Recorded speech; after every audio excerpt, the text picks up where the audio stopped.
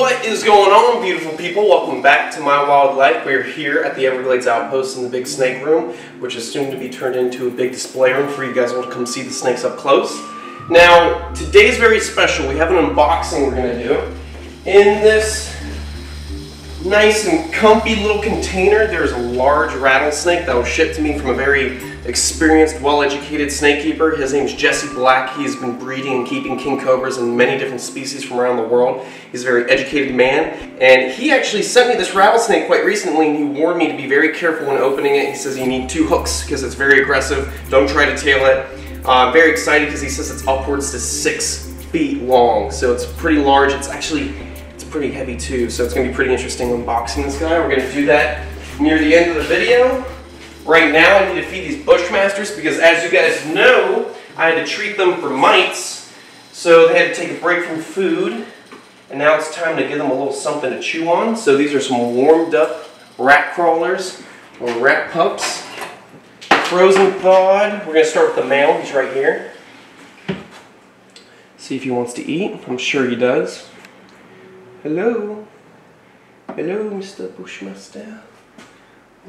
There we go. Yeah, he's pretty hungry. he just shot right out, stuck his fangs right into the abdomen. He's injecting all that venom inside. Look, he's squeezing so tight the skin around his face folds. Beautiful male bushmaster. He's gonna start chewing on that. You already see his fangs moving. He's making sure he kills that rat, even though it's pretty dead. Alright, so I'm gonna leave it just like that. He's gonna start chewing down on that rat. Now we're gonna feed the female. I'm gonna keep that unlocked because we're gonna check on him in a, second. All right, let's see. The female's in that hide box right there. I'm sure she's starving. She's gonna get a little bit larger of a rat crawler. Get all that water off. Let's see what she's doing. You in there? You interested? You coming? Oh! Holy smokes, that was her head is. She just folded that thing like a taco. Awesome. I'm actually going to leave the hide just like that so you guys can watch her eat. She's pretty quick on working on that rat. The male, he's still holding on to it, trying to inject venom into it. Whereas the female knows that that's food and she's going to start chewing down real quick. It seems like the females are always smarter in every species. Hmm. Hmm. Comment below. What do you think? No, I'm kidding. Don't comment below. No, no, no, no. What, what are you shaking your head for? You, you just film, okay? Sassy. Okay. So I'm going to leave the hide up so we can go back and check out the Bushmaster as she swallows her food and as the male swallows the food. Look at that. Look at the blood coming out of the, the puncture holes. That is no joke. You would not want to get tagged by one of these guys. It would be a nasty bite.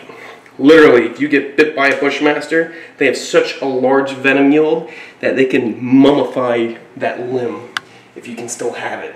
If it doesn't get amputated, that limb gets necrotic, all the flesh starts to dehydrate, and all you have is a dried up bone. There's literally a man who was bitten and his whole entire arm was like mummified. It was nasty. He was able to keep the arm, but the arm was almost useless. The only thing he could use the arm for is to actually put a snake hook in between his armpit and hold it. So his arm became just a snake hook holder.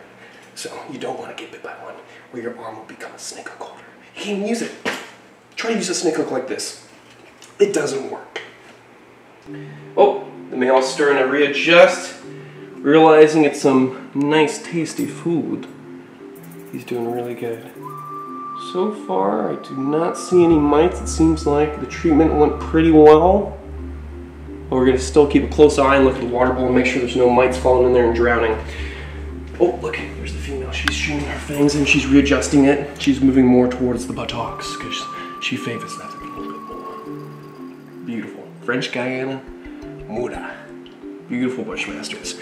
Okay, so you guys all came here for one specific reason, and that is to see this unboxing. So what I'm going to do is bring the box over here. As you guys know, I put Justina in a six foot, oh thank you very much. I actually have a selection of hooks I set up right here. I have the double hook right here, so it adds extra support because I was told this is a large bodied rattlesnake. Although it's dangerous, it is fragile, we want to be careful with it.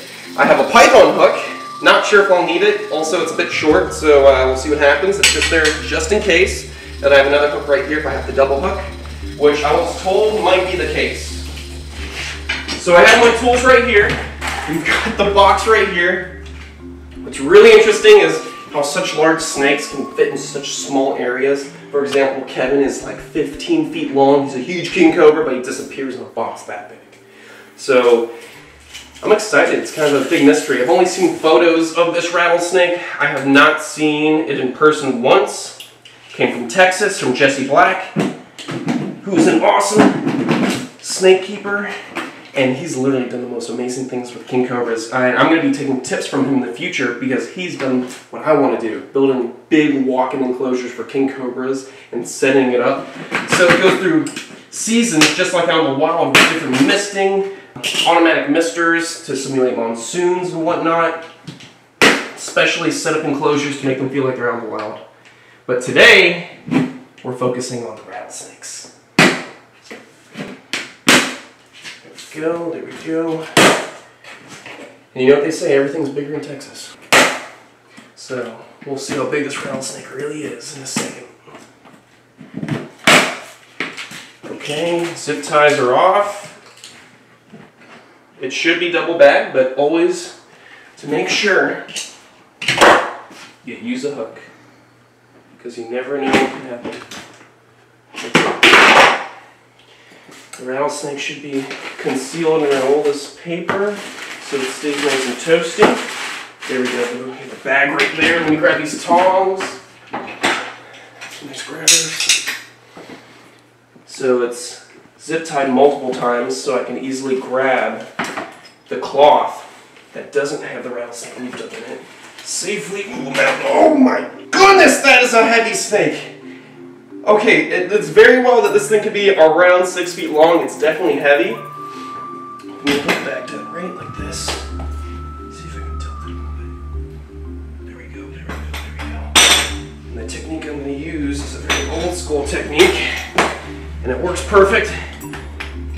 Just put it down right there, put that hook or tongs down right there, keep pressure on the bag where the snake is being held, and it gives me the opportunity to safely come over here pull that bag nice and tight.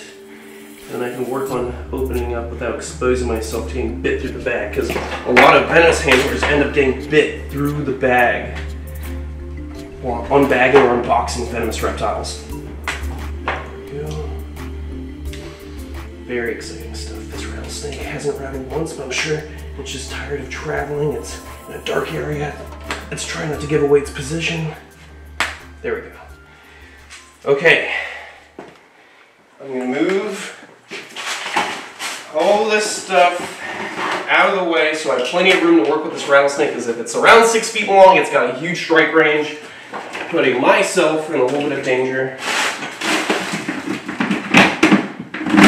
Nothing new to the channel. And then put the knife away because we always want to be safe. I'm going to grab the bag right here by the corner. Let me just add that the cage is already set up for the rattlesnake to go into. Perfect, it's double bagged. Legal requirement when shipping venomous reptiles. But always want to take caution when undoing the bag. All right, this is the, final. oh my God, I can see the scalation pushing through the bag. I can actually see his head right there. I can see the texture of his skin. And he has a rattle. my boot right there. All right, so I'm putting pressure on the bag keeping him away from me. I'm to cut the rest of these zip ties. There we go. There we go. And I was told this is a very cantankerous rattlesnake, so we're about to find out. All right, let's do this. Get a fold to the corner. This is real big in the butt. Here he is, look. Look at this. Woo! That is a good sized Mexican West Coast rattlesnake. And he's, holy smokes, he's definitely around five, six feet long. That's a big snake. Look at this.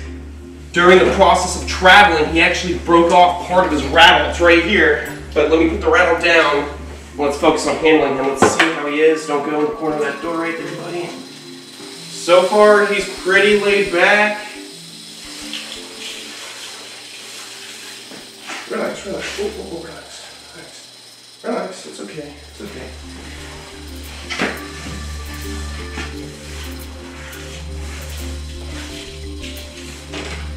Okay, okay, let's see. Boom, there you go. Mexican West Coast rattlesnake, definitely pushing over five feet long, potentially six feet. He is a giant, he's healthy, he's beautiful. Look at that, beautiful white scalation, very calm. He's not cold, but he's slightly cool to the touch, so he's not fired up like he would be right out of the enclosure. It seems like we're doing good so far. He's freaking out just a little bit. Relax, it's okay, it's okay. Relax, try and hook him, make him feel comfortable. Look at that. Huge Mexican West Coast rattlesnake. That is a beautiful animal. What a beast of a snake. I hope the camera's picking up how large this snake is.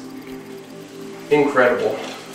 And this animal will be on display for the public to see, so you can see in person how big the Mexican West Coast rattlesnake really is. Beast of a rattlesnake. All right, I'm gonna put them right back, or I'm gonna put them right into the quarantine enclosure. So one last good look at that huge rattlesnake. Beast of a snake. All right into there. Look at that. The rattle's a little bit broken, but I want to keep him from rattling. He can still make some noise, so he's not too upset. He's not going off crazy right now. Now, let's see his head's already back there. We're gonna lock this up. There we go. A huge Mexican West Coast rattlesnake, new to the facility, gonna be on display for the public, so you guys can see this guy up close and be able to see him really, really in depth in person, see his scalation, see the beautiful colors. All right, so I will see you guys on the next one. Stay beautiful, stay safe. Come down to the Everglades Outpost, check out the wildlife, and very soon you guys will be able to check out all the venomous reptiles that I have here to put on display. So, I'll see you on the next one. Don't get bit.